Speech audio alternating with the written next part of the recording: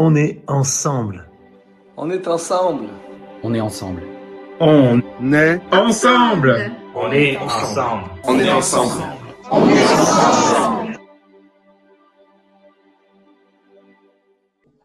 Merci à ces pasteurs qui, euh, par la parole de Dieu, renouvellent en nous cette espérance que nous avons dans le Seigneur.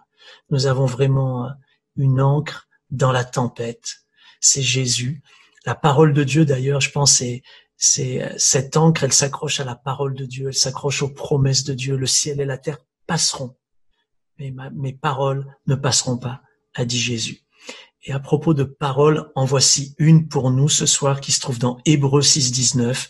On vous la met à l'écran et vous pouvez la lire avec moi si vous le voulez, à voix haute. Cette espérance est pour nous comme l'encre de notre vie, sûre et solide. Elle pénètre par-delà le rideau dans le lieu très saint. Alors on a la joie d'avoir avec nous euh, le pasteur Daniel Potier. Euh, qui est de l'église Lille Métropole. Bonjour, pasteur Daniel. Bonsoir, euh, Benjamin. Ah, c'est une joie de, de, prendre ce moment ensemble. Alors, est-ce que, en quelques mots, vous pouvez, tu peux nous, nous dire qui tu es? Donc, euh, je suis Daniel Potier, 56 ans, marié à Patricia, trois enfants, trois petits enfants que du bonheur de vivre cette réalité. Et je suis pasteur principal de l'église ELM, église Lille Métropole à Lille donc. Alors justement, euh, tu es pasteur et euh, Dieu t'a confié, puis sûrement avec d'autres euh, de ton équipe, beaucoup de personnes dans, dans, dans, le cadre de l'Église. Comment tu poursuis justement cette, cet appel, cette mission pastorale dans un temps comme celui-ci? Euh, je pense que nous sommes un peu comme tous les autres pasteurs aujourd'hui, euh, en France et ailleurs. Il faut faire preuve de créativité pour continuer à faire vivre l'Église. Donc les différents pôles euh, de l'Église gardent contact avec la population, les, les, les, croyants, les chrétiens, les jeunes, les enfants sont confiés. Et on a un culte en live tous les tous les dimanches et on revient le jeudi soir dans un live aussi sur ce qui a été prêché le, le, dimanche. On essaie de favoriser l'interactivité. Je pense que c'est important de garder contact avec l'Église. Et puis, je pense que dans ces moments-là, euh, on n'a jamais été aussi proche de, de nos chrétiens, euh, soit en téléphonant, euh, soit par des réunions de travail, mais on fait tout pour garder ce contact parce qu'il nous semble indispensable. Oui, effectivement, que ce soit les entreprises, les associations, mais en tout cas même les églises, personne n'a été épargné euh, par cette saison. Et beaucoup de chrétiens avaient l'habitude de se rendre, euh, que ce soit le dimanche, le samedi ou autre, à des moments hebdomadaires à l'église pour se retrouver, prier ensemble. Et beaucoup peuvent, dans cette saison, être déstabilisés par rapport à, cette, à ces habitudes, au fait de se retrouver, d'être dans un même lieu. Quel conseil tu pourrais donner justement sur garder ce lien avec notre église locale, de s'attacher, euh, même si on est chez nous, mais de garder ce lien de cœur et surtout dans l'esprit de rester un? Oui, je pense que c'est important. Après, ce sont des initiatives personnelles que chacun peut mettre en place. C'est vrai que les, les pasteurs et, et, leurs équipes euh, peuvent mettre en place des programmes, mais je pense que c'est la responsabilité de chaque croyant de garder le lien avec l'Église, soit au travers des lives si ça existe, des directs le dimanche matin, ou en prenant tout simplement son, son téléphone, euh, téléphoner à, à quelqu'un pour prendre de, de, ces nouvelles. On sait qu'il y a des moyens techniques comme, euh, comme Zoom qui permet aussi d'avoir des, des, petites réunions par groupe de maison. Et il y a plein de moyens comme ça qu'on peut mettre euh, en œuvre pour continuer à faire vivre l'Église. Et ça, c'est la responsabilité de chaque croyant. Alors, tu es pasteur, mais avant tout, tu es un, un homme, tu es marié, tu as une, une famille. Comment le vis-tu de façon personnelle et familiale justement ce temps de confinement et comment euh, tu arrives à maintenir justement cette, ce Christ et, cette communion avec Christ au sein du foyer de la famille? Euh, Je suis en confinement donc avec mon épouse, avec euh, une de mes filles qui est encore étudiante et qui est à la maison. Et puis nous avons notre fille avec son conjoint et leur petite fille qui nous ont rejoints. Donc c'est c'est une belle famille qui est qui est réunie dans, dans la même maison déjà sur le, le plan familial, c'est euh, c'est bien de, de, poser et d'apprécier ces instants, d'être ensemble, de, de, partager même des, des, des moments, euh, même des fois des, des, des, jeux, des fous rires. Je, je crois que c'est important dans des moments aussi lourds d'avoir des, des, des sas de décompression. Et sur le plan spirituel, euh, il y a aussi des conversations qu'on peut instaurer nous-mêmes autour du sujet, euh, autour d'un repas. on vit le culte ensemble. Et ça, c'est aussi précieux de le vivre avec euh, ses proches euh, à, la maison. Alors notre thème, c'est l'espérance, une encre dans, la tempête. Et cette tempête, pour la plupart d'entre nous, elle a été assez soudaine. Et euh, comment tu pourrais aider tous ceux qui nous écoutent à définir qu'est-ce qu'une encre dans la tempête? Et as-tu déjà vécu un moment justement où, tu as trouvé euh, en Christ cette encre qui t'a aidé à traverser cette tempête?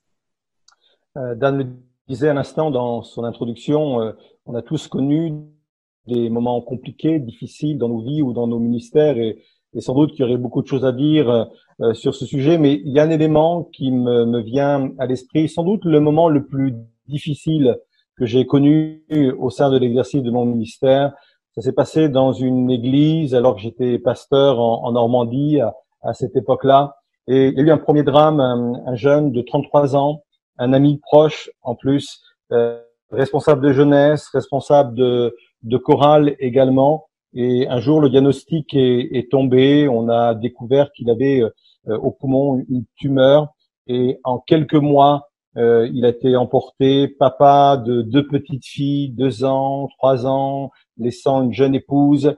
Euh, C'était vraiment pour nous, pour euh, l'Église, une tempête terrible, d'autant que l'Église s'était mise à prier, à jeûner, on, on, mettait notre foi en action, on s'attendait à ce que, ce que Dieu intervienne.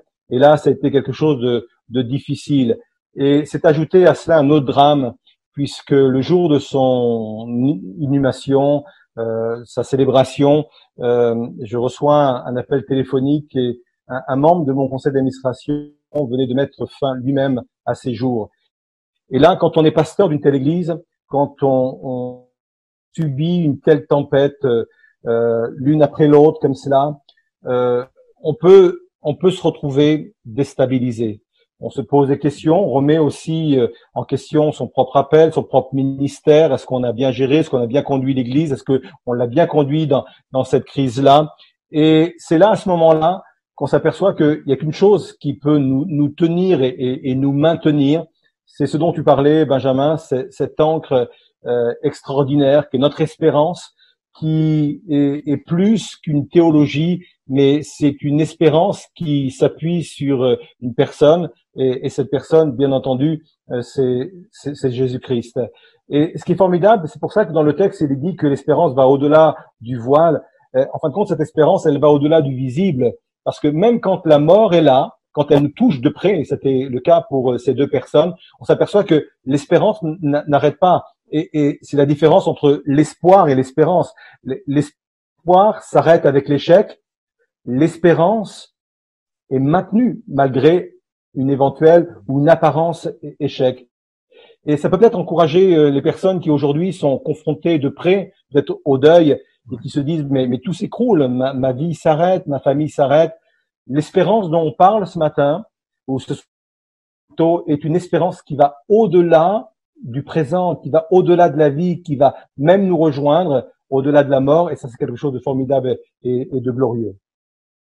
Quelle, vérité, effectivement, quelle vérité de, de cet espoir qui, effectivement, sur une circonstance peut s'arrêter, mais notre espérance, c'est Christ, qui est la vie, et on ne peut jamais perdre. Et en tant que pasteur, quelle est ta compréhension spirituelle de ce moment qu'on vit et qu'est-ce qu'on peut en, retirer en tant que chrétien? Il me semble que dans cette crise sanitaire, c'est l'occasion de se préparer à quelque chose qui est à venir. Euh, je suis de ceux qui pensent que euh, la fin des temps ne rime pas forcément avec le mot catastrophe, euh, désolation, mais je crois que la fin des temps rime aussi avec euh, renouvellement spirituel, avec euh, retour vers le Seigneur d'une multitude, avec euh, des plans merveilleux et glorieux que Dieu a préparés pour nous. Et je pense que ce temps-là de, confinement est un temps pour nous préparer, euh, entendre la voix de Dieu, euh, entendre ce que Dieu a à nous dire sur nos comportements, nos fonctionnements, afin d'être prêts après cette crise sanitaire. J'ai été souvent interpellé par des, des croyants de, notre Église, mais, mais c'est quoi notre rôle au sein de cette crise sanitaire? C'est vrai quand on, on est euh, dans des corps de métier qui sont actifs, euh, nécessaires, indispensables, tels qu'Alena ou, ou, ou on, on, est très sollicité. Mais pour l'ensemble des, des chrétiens, il faut dire qu'on est limité dans nos actions, à part peut-être euh, vivre la solidarité autour de nous, prier, vous allez me dire c'est déjà beaucoup. Mais je pense que nous, en tant que croyants, nous sommes surtout attendus après cette première crise. Parce que je suis persuadé que cette première crise va laisser la place à d'autres crises, une crise économique, une crise sociale, une crise existentielle, et c'est là où les chrétiens sont attendus et auront un rôle important à vivre. Merci, Pasteur Daniel.